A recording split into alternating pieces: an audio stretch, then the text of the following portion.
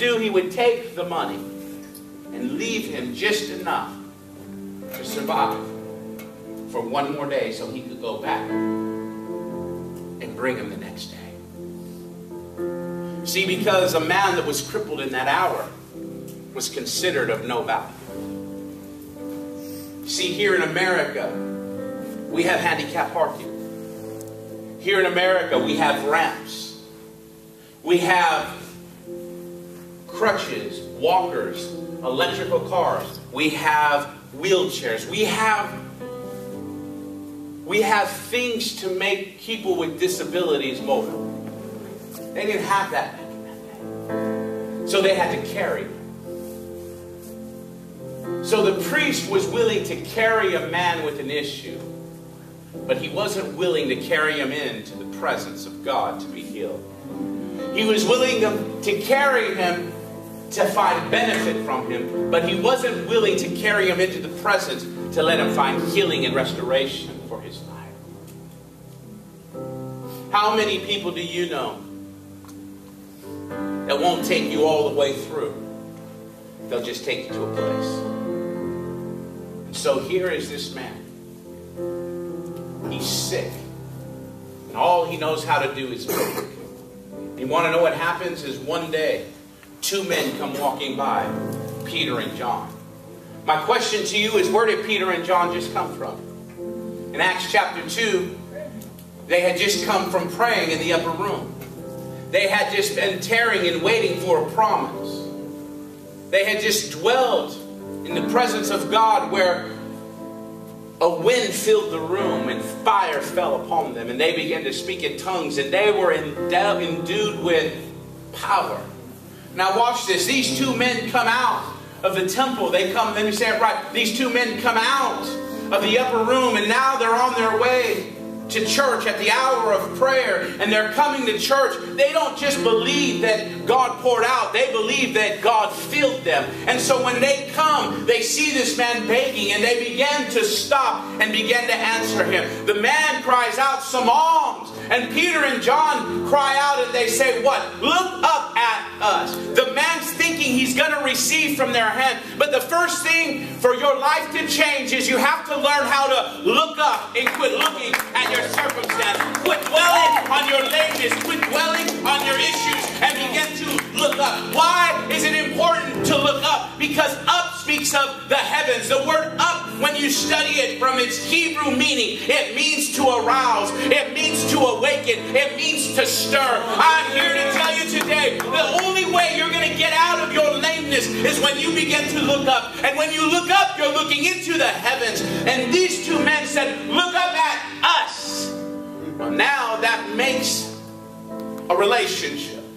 God said, Let us. Peter and John said, Look up at us. What are they birthing in this man's life? Relationship. See, what happened is that priest was telling him he was relational, but he was not relational. He was conditional use only. What I can get from you. Yes. Now he's finding men of relationship. What are the two men's names? Peter and John. What does Peter's name mean? Petros. Which means what? Rock. A rock speaks of foundations. God laid the foundations with the apostles and the prophets. The foundation is called the capstone. Jesus is the capstone. So suddenly, when this man began to look up, he began to find out that there are some apostolic foundations that he needed in his life. He found out that there is something he could build his life upon. You can build your life upon godly relationships. You can build your life upon people that are there for you. And Peter and John began to decree, look up. So this man was looking up at a place called Foundation, but it didn't stop there because the other man's name was John. John's name means beloved. So suddenly, when you put these two names together, it means a foundation of love. What did this man have? This man didn't have love, he had abuse. This man was being rejected by a system. Can I say it like this? Here in America, we have an understanding of what the word rejection means. All over the world, everyone knows what the word reject means. The word rejection, according to our definition, is someone saying we're not good enough. And so they presently reject you. But you want to know what God says about the word rejection? Rejection says they weren't good enough for your future. So I took them out of your present. See, rejection is not someone telling you you're not good enough. Rejection defined by God is they're not good enough for your future. So I'm taking them out of your present. Though you might be experiencing some pain, in the end, you're going to be better off. And so here is this man looking up at the foundations of love. Peter and John said, Silver and gold we have none. But what we do have, what did they have? They had what filled them in the upper room. I'm here to tell you that when you know that you have God in your life, God isn't for you only. God is for your neighbor. God is for your friend. God is for the man that is sick. God is for the man that is in an issue. God in you is for someone in need. And they begin to realize what I'm isn't for me. What I'm filled with is to give to others to make them free. And Peter and John said, Silver and gold we have none. But what we do have, we what? We give. Yes, come on. Relationship is give, then take. Relationship isn't take, then give. You follow me? When you find true relationship, true relationship gives. It doesn't take. It's give, then take. So now watch how simplistic this is. Peter and John says, Silver and gold we do not have. But what we do have, we give to you. And what did they tell them? Rise up and walk. The man was lame. The man was weak in his what? Ankles. The Bible says he was weak in his ankle and bones. When you study the word bones out of the book of Ezekiel, this valley is full of dry bones. You want to know what the word bones means there? It means in Hebrew substance. We could take that all the way back into the book of Hebrews. And you know what the Bible says about faith? Without faith, it's what? And faith is what? Substance. So suddenly, when we begin to look at the word bones, it means substance. Substance is what faith is made out of. So faith is likened to bones. This man had no faith because he had no substance of true relationship in his life. But when true relationship came in his life, this man found substance in relationship. When he found substance, he found faith. When he found faith, he had the power to get up. He can only get up because he had relationship. It's not good for man to be alone. So that's why God gave us helpmates. I'm here to tell you that we're here to help one another. Help him up. I'm here to tell you that we need each other in the power of relationship because relationship will get us up. So, Peter and John, what did they do? They ended the fundraising scheme, the priest. They broke the system of religion and they brought healing to a man that was living infirm they dealt with a man who was lame in feet. He was begging, and they knew that money was not the answer. So what did they give him? They gave him what they carried. And what did they carry? Power. What did they carry? Relationship. Wherever you want to see power, you got to find relationship. And suddenly, the power of relationship was released into this man. And immediately, where did he go? Where his heart wanted to be all along. He didn't run home to his family because he must have told them the priest is robbing me. Help me. And no one can. This man must have told people that I'm being taken advantage of. Help me, and no one would. So the minute help came, he ran to where he knew the help came from. Where did the help come from? Say the house of the Lord. Immediately when this man's bones were made well, faith came in his life. Immediately he stood up, walking, leaping, and praising God. And he ran into the temple and began to worship. I'm here to tell you, he was at a gate called beautiful that meant of the right hour, of the right season. But his hour and season could not manifest until true relationship reached out its hand. Hallelujah. I'm here to tell you what's going to change your life is when you let true relationship pull you out of your lameness. When you let relationship pull you out of lameness, you know what it's going to do? It's going to cause you to dwell at a king's table. Let me get ready to take it back to 2 Samuel. 2 Samuel 4 4. Mephibosheth wasn't born lame. He became lame because the religious system discarded him and saw no good in him. He was living his life out in a place called Lodabar without a pasture, with no communication. That means he was absent of relationship or friendship. But he didn't know that in 1 Samuel 18, long before he was even born, his daddy made a covenant with a friend. And his soul was knit to him. Though daddy was going to lose the kingdom, when he was knit to David, he was also knit to the kingdom. That word knit means to be looped together, to be forever linked. The word knit is a garment term. It means to knit things together. It means to build a garment. What does a garment do? It covers.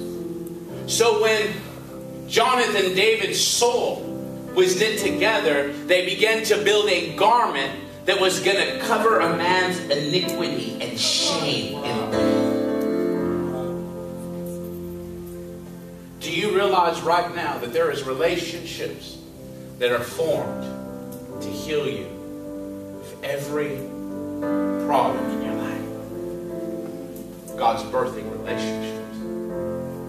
So here is this man by the name of Mephibosheth. He's lame, not born there, but circumstances caused him to be there. Lodabar, without a pastor, without relationship. And now one day, David is dwelling in his kingdom. And he's thinking upon his friend Jonathan. This means that the word and the covenant that David made never departed from his heart. He kept it ever present before him. And now, as he's dwelling in his kingdom as a ruler, he begins to ponder of his friend Jonathan, the gift of God he begins to remember the covenant and the agreement he made. And he cries out and says, Is there not one of the house of Saul that I might show kindness to?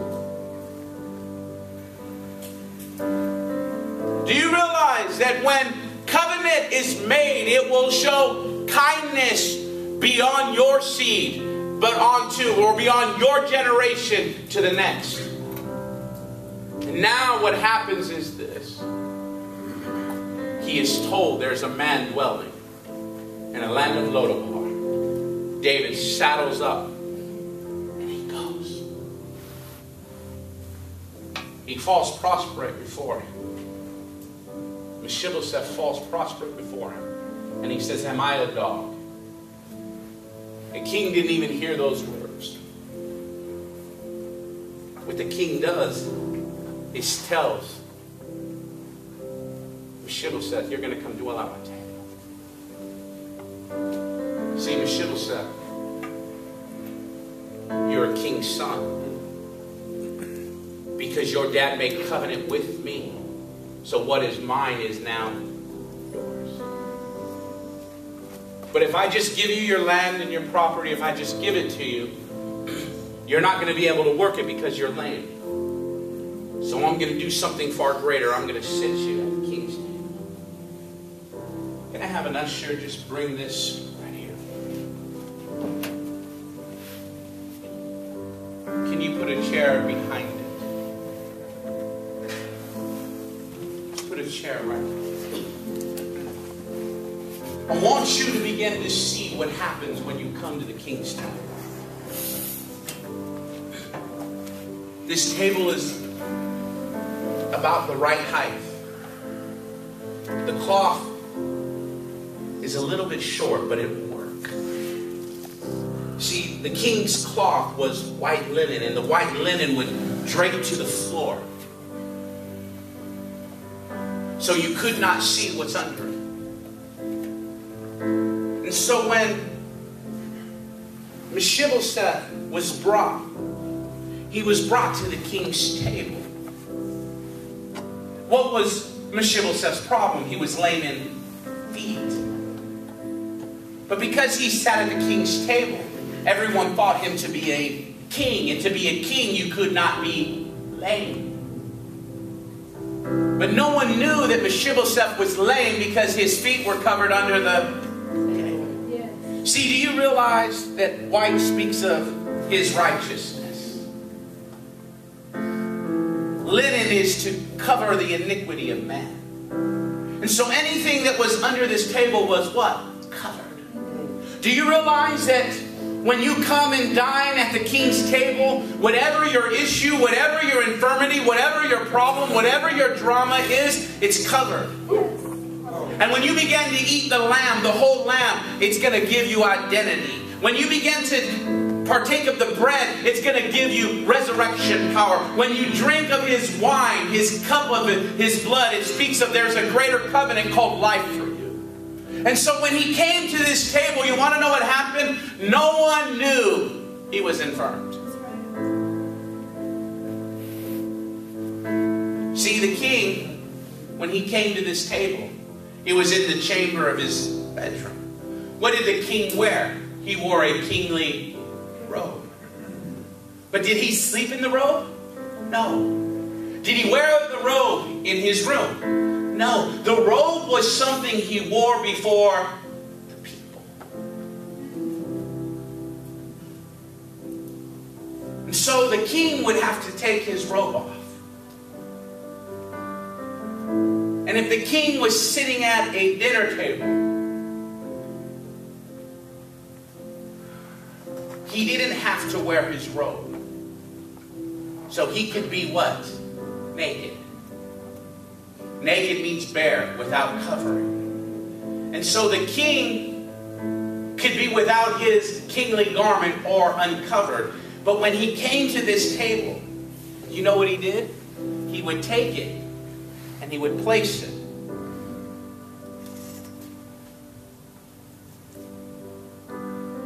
here. Did you know that when you come into the king's table, it was unlawful for you to look him in the eyes?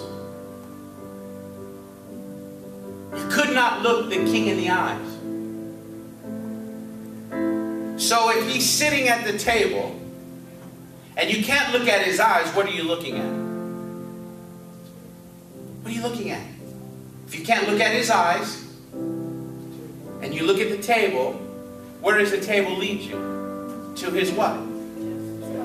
His heart. You know why you couldn't look at the king in the eyes? Because it was unlawful. But you had to look and know the heart of your king. Oh, there it is. Come on. And so the heart of the king was to put Mephibosheth under this garment. So one would know his nakedness. No one could ever see his infirmity. This morning, what God wants to do for you is He wants to cover you in His righteousness. He wants you to eat the spread off of His table that heals. Lamb bread and meat is the meal that heals. You know what he wants to do? He wants to cover your shame. He wants to cover your issues. He wants to deliver you. But it can only be done through the power of relationship.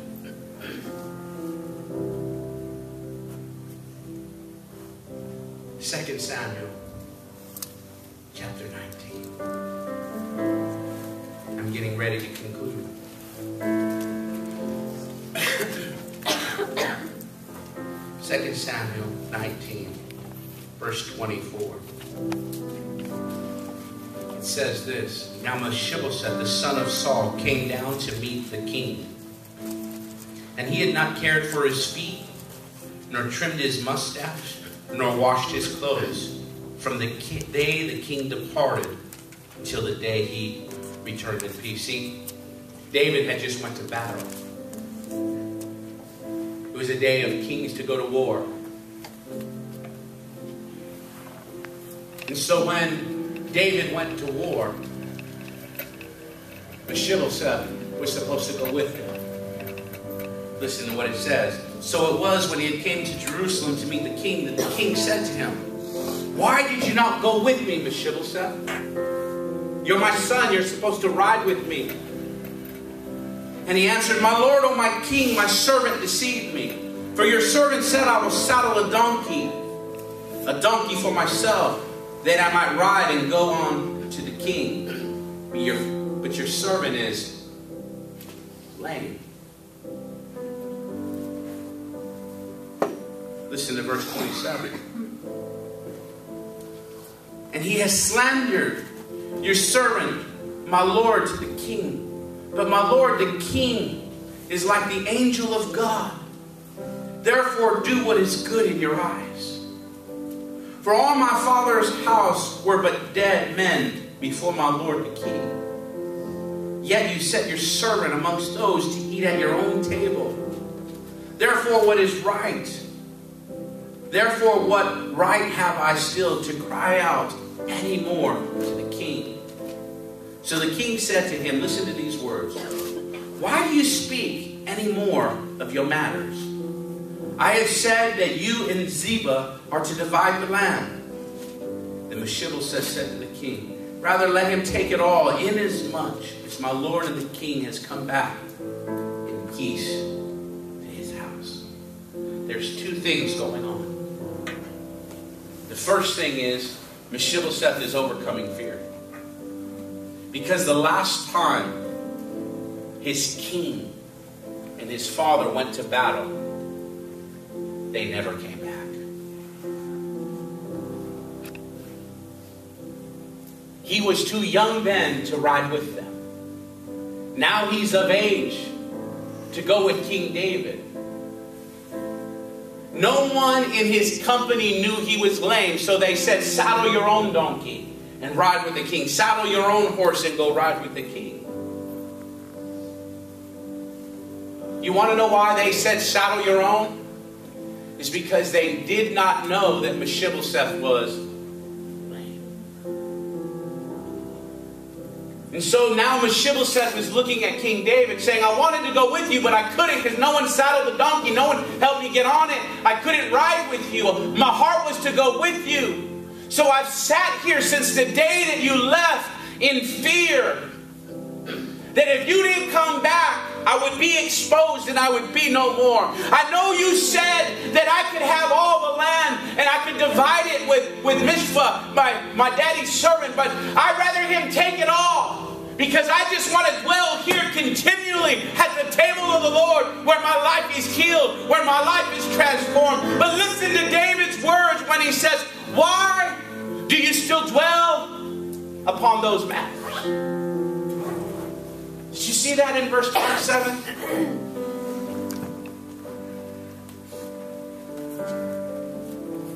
Let me see, maybe it's verse 20. He says this. For all my father's house were dead. Your servant is among those who eat. Therefore, what is right I will still have. The king said, 29. Why do you speak any more of your what? Of your matters. What was the king telling him? You are only as lame as you think you are. You are only as crippled as you think you are. Don't you realize you were covered under the king's table? What's under the table is under the table. No one will ever know because it's hidden. The only thing, Michelle said, that keeps you crippled is you still think you are.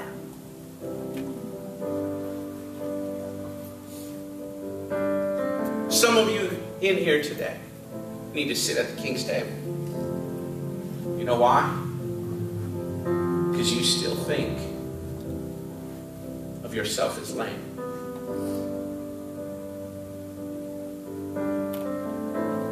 God's come into your life. You sat at his table, but you still remember the matters. You're still wounded, though you're covered. You're healed. You delivered. You're free.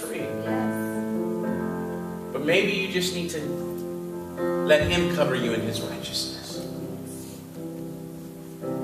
That no man can look you in the face and bring a charge against you. And now they have to see you at the heart